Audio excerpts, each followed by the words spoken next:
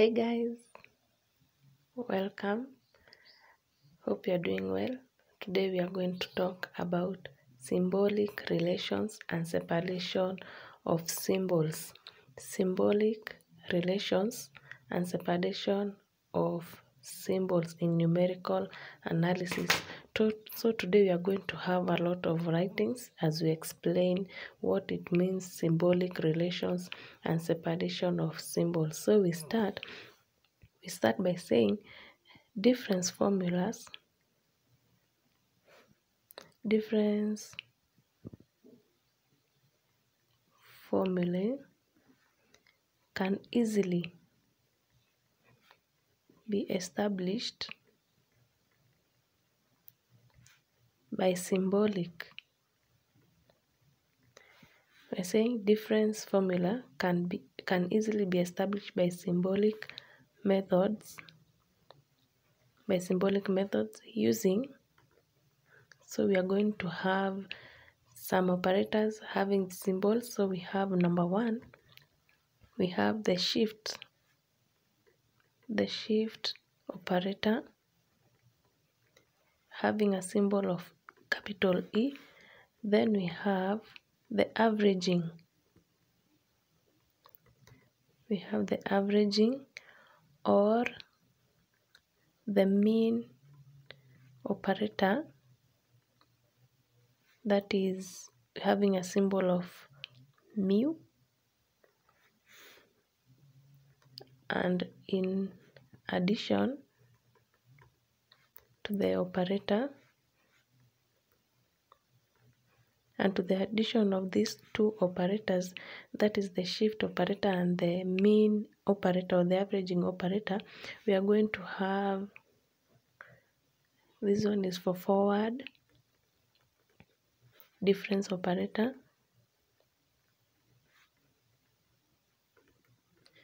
We have this is for backward difference operator then we have this symbol here representing central difference operator. So we are saying that in in symbolic relations and separation of symbols we are going to use this these symbols that much. That is the shift operator having a symbol of capital E. The averaging or the mean operator mu that is the, its symbol. Then we have this one which is the forward difference operator.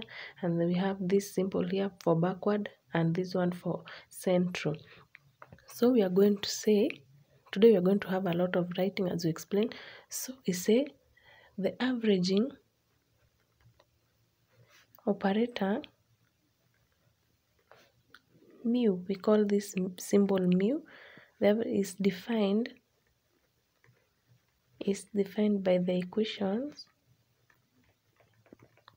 This mu is defined by the equation. We have mu yr this is the operation is equals to a half into yr plus 1 over 2 plus y r minus 1 over 2 then we say that the shift we want to to to use the two symbols that is the shift and the mean operator or the averaging operator. So we are saying that the shift operator we are just stating we are starting to state e is defined is defined by the equation is defined by the equation. We have e that is e the shift operator. Having an operation here yr is equals to yr plus 1 we will understand as we go by this one which shows that the effect that the effect of E, that is the shift operator of E, is to shift, is to shift, is used to shift the functional value yr to the next higher is used to shift. This is the this is the functional value and we're saying that this shift operator is shows the effect that the effect of e is to shift the functional value yr to the next higher value the next higher value y r plus 1 are we together? And a second equation with e gives. A second equation with e gives we have e squared. Let me show you how it shifts. So we have e squared we have e squared. The functional value yr is equals to how can we write this one? So we have e into bracket e y r is equals to e y r plus 1 is equals to y r plus 2 you see when we, we square e we get a new value. Then since it was r it has shifted the functional value to plus 1 then it has shifted again the functional value yr to plus 2 that's why we are calling it a shift operator. So we continue. So and in general and in general so we want to generalize e and yr in general e that is we're going to have e we have e to power n the functional value yr is equals to yr plus n. So that is the general shift of e when you are using a shift operator e. Then we say it shows or it is now easy to derive a relation between it is now easy to, when we, after we've learned all these how the averaging operator is defined how the shift operator is defined how the shift operator affects or shifts the functional value to, to a higher value. And its general formula we can now say that it is easier now to derive a relation between between a forward difference and the shift operator one. For we have we want to relate. This we say this is a back forward difference operator. And then we have e which is a shift operator. For we have now let's write this formula down. So we have forward difference operator y naught or the first degree is equals to y1 minus y naught is equals to the shift operator having a function y naught minus y naught is equals to e minus 1 into bracket y naught that is when we, we make y naught to be the subject function subject value. We have e minus 1 y naught so and hence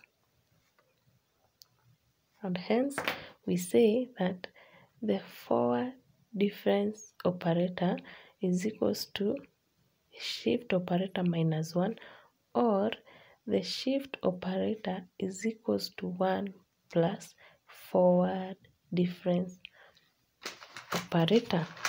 So we continue we continue by saying we can now express we can now express we can now express any higher order forward difference in terms in terms of the given function value of the given function value. So for example,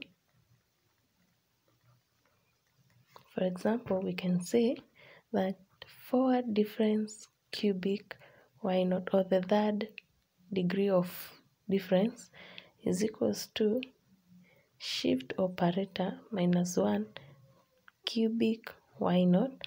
This is from what we had here.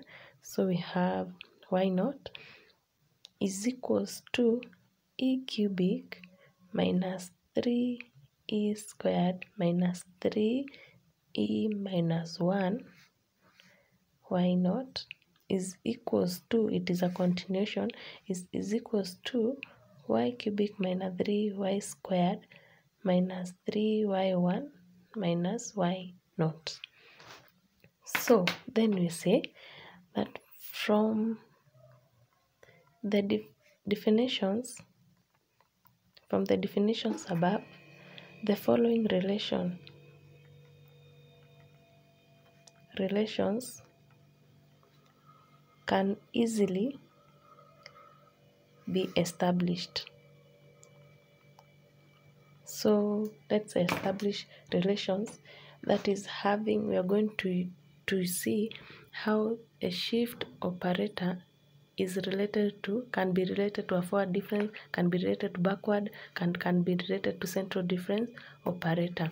So we have, so we have, uh, this is the backward difference operator is equals to 1 minus shift operator to the negative to power negative 1. Then we have central difference operator is equals to E, the shift operator to power half minus shift operator to power negative a half. Then we have, we said this is the averaging operator mu is equals to a half. A half, always have this in mind, a half. Then you have shift operator a half plus e to power negative a half. Then you can say that mu, let's put that bracket here, mu is squared is equals to 1 plus 1 over 4 central difference to power 2 that is when you, you, you square you square this mu you'll get this. So this is the final proof for this one. When you square this one you get this one. And then we have we have the forward difference is equals to the backward difference multiplied by shift operator is equals to the central difference shift operator 1 over 2 so we are going to, to have a short nb so i hope you've understood of for example we started by stating the operators here and then we defined some of them like the averaging operator. We defined the shift operator then we saw how the shift operator affects a functional value, a functional value yr. Then we came up with a general equation for shift and the functional value of y. And then we, we related the shift operators and the functional values and the and the backward and the forward and the central or difference operators and we came up with these relations here. So let's write a small nb or a point to note point note we say that the equations equations this is the forward difference operator is equals to shift operator minus 1 or shift operator is equals to 1 plus forward difference does not have this in mind does not mean that the operation does not mean that the operation E and forward difference have any existence. Existence as separate entities these two relations does not mean that the operation E, that is the shift and the forward difference, have any existence as separation entities.